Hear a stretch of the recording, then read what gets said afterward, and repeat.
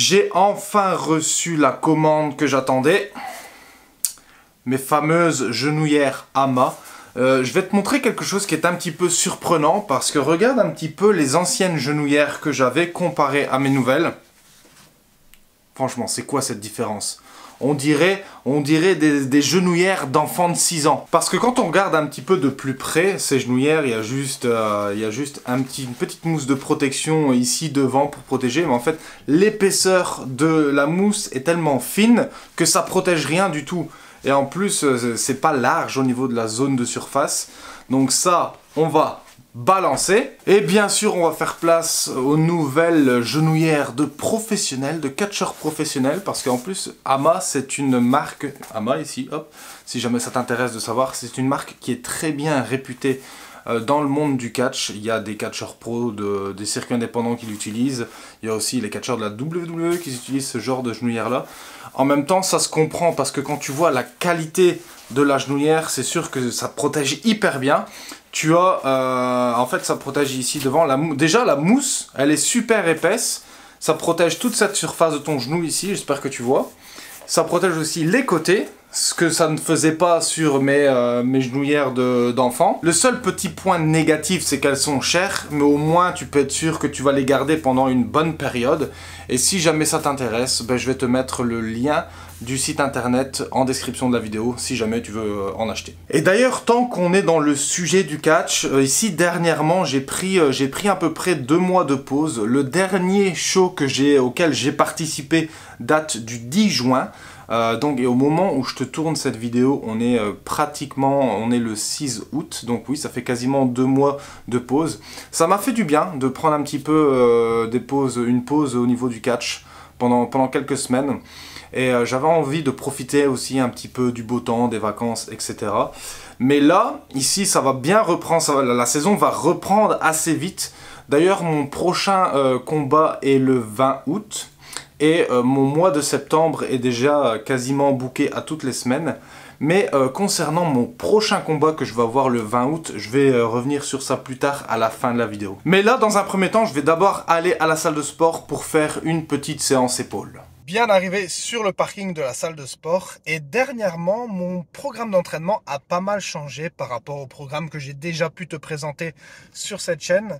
Maintenant je suis passé à un muscle par entraînement tandis que mon ancien programme c'était un, un programme qui était quand même pas mal plus intensif et qui engageait plus de muscles dans mes entraînements.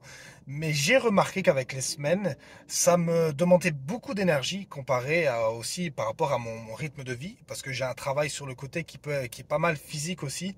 Et donc j'ai remarqué que c'était un, un programme d'entraînement qui n'était pas euh, compatible avec mon mode de vie. Donc j'ai changé ça et je trouve que maintenant c'est beaucoup mieux euh, que je fais un entraînement, un muscle par entraînement. Je suis repassé sur un format d'entraînement qui est beaucoup plus classique.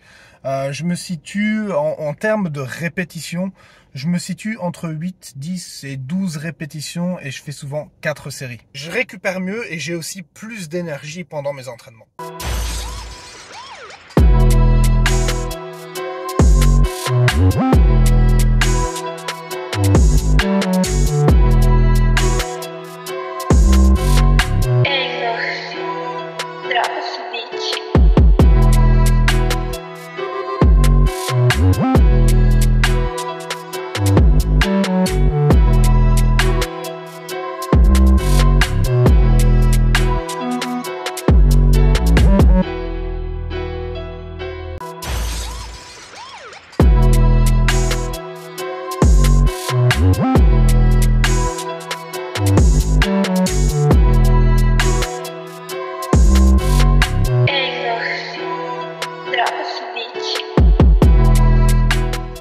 C'est l'heure de mon shaker post-workout et je vais juste avoir besoin de 4 ingrédients pour faire ce smoothie protéiné.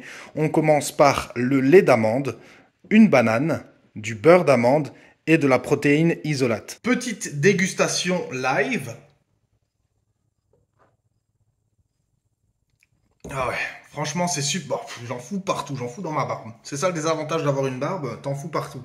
C'est super bon. En plus, c'est super euh, facile à préparer. Tu prends juste des ingrédients, tu les mets dans le mixeur, tu mixes tout.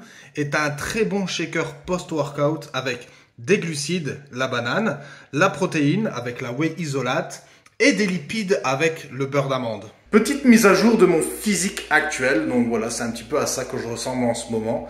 Euh, franchement, je suis euh, globalement assez satisfait de mon physique. Évidemment, il y a toujours mieux à faire. J'aimerais un petit peu encore prendre un tout petit peu de masse sur le haut du corps, aussi un petit peu au niveau des pecs. Et euh, dégraisser un petit peu ici au niveau des abdos. On voit qu'ils sont un peu visibles, mais je suis pas sec sec, tu vois. Mais bon, après, je suis pas un bodybuilder, je cherche pas à être sec comme un bodybuilder, je suis catcher, donc c'est deux disciplines complètement différentes. Et euh, au niveau du poids, je me situe entre 112, 113, 114 kg. Au début de la vidéo, je t'ai parlé sur le fait que mon prochain show était le 20 août. Et eh bien justement, cette année, je reparticipe à nouveau à la Lutte Academy. C'est une compétition à laquelle j'ai participé l'année dernière. Et pour te resituer un petit peu dans le contexte, pour les personnes qui n'ont pas suivi, en résumé, la Lutte Academy, c'est une compétition dans le catch. C'est un peu comme Star Academy, mais version catch. Donc en résumé, tu as trois euh, manches différentes. Tu as quart de finale, demi-finale et finale. Et au bout de cette compétition, euh, il reste trois vainqueurs. Donc tu as euh, deux mecs et une meuf. Et chaque gagnant euh, gagne 10 000 dollars et trois mois d'entraînement à la Nightmare Factory. C'est le centre de développement de la AEW tout simplement à Atlanta en Géorgie. Et ici actuellement j'ai déjà participé au quart de finale qui a eu lieu le 4 juin, si je ne dis pas de bêtises. Euh, donc j'ai été qualifié, je suis passé en demi-finale et les demi-finales vont se dérouler le 20 août prochain. Et d'ailleurs, je vais te partager quelques images pour que tu aies une idée euh, de savoir ce qui s'est passé euh, pour les, les, quarts de finale auxquels j'ai participé et on se retrouve juste après. Oh yeah? Yeah. You said it about your brother earlier. Very good basic wrestler. That's how I would describe Jesse Bieber. Outstanding basic wrestler. Oh! Björk, nice move by Björk. Good agility. Time I'm going to see Taro Whip. La première yep. fois, je vais voir Taro Whip. Oh! Hey, lui aussi, sir. Oh! Oui, Took too tiens, long. Tiens, tiens. Took too long. Too much talking. Yep. Oh! Le visage. Oh, looking like he's going to make that tag. Oh, j'adore qu'il essaye d'aller taguer son partenaire. This is looking like the old fabulous Rougeos. Amazing. Amazing. Oh! Big back body drop. Taguer son partenaire. Un yep. bon travail en équipe, Jesse. Ça a permis, ça a permis à Tad d'empêcher yep. yep. D'aller taguer. Look how strong, look how strong Thad Howard is. One one leg and he's able, oh! Oh! oh well, he put, it, put him on his behind there. No one standing in his way now. Here he goes. Oh! Oh! Jesse the timing. Oh, the timing. J'en reviens pas, Jesse Bieber. That was sneaky. Jesse Bieber vient de me gagner, man. C'est sûr qu'il va se tasser. Ben oui. C'est ça.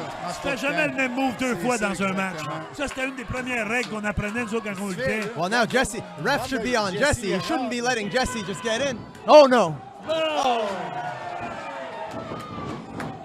oh! Il a tout pris ses forces, Björk. Va taguer, Björk. C'est fait, le tag est fait. Et voilà Carl Jepson. Attention. Carl Jepson à son meilleur. To win one of these exchanges, just like in boxing. Comme Edouard Carpentier, une manchette à l'envers. Oh! Nice super kick. Right on the money. Incredible. Oh! Ah, il te l'a-tu fait la corde à... Big lariat. Bjorg Hacken is feeling himself. He is looking to put a hurting. What is he going for here? Oh. What did I tell you? Oh, he stood up around the mine, oh, oh, he went to the eye. What? Come on. Oh! That's a dragon suplex. Oh. That hurts. Oh, my God. Take it from me, that hurts. My God. Oh!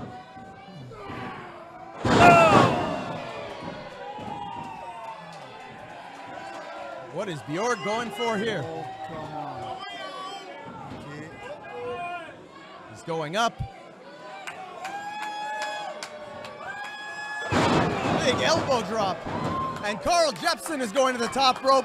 This is that big splash. Oh, donc voilà en résumé euh, pour la première partie de la Lutte Academy.